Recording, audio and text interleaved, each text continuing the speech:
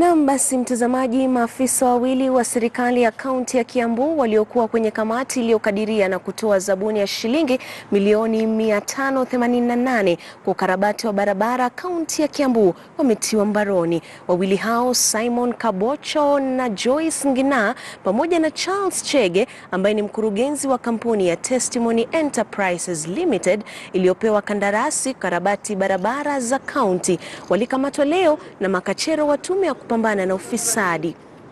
Unatafuta nini? What are you looking for?